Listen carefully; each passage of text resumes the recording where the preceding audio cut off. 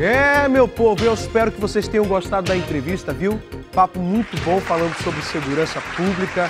Eu espero que as dúvidas possam ter sido esclarecidas. E é claro, agora vamos aguardar o desenrolar de toda essa situação que aconteceu no último final de semana. Estamos chegando no final do mês de fevereiro.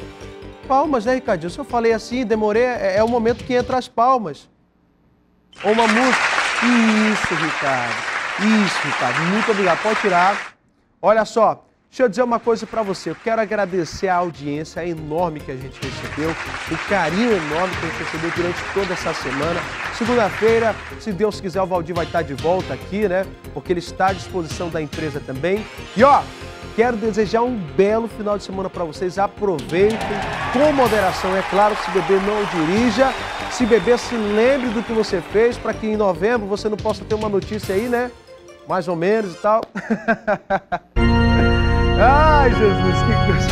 Já tira aí, deixa eu dizer uma coisa pra você.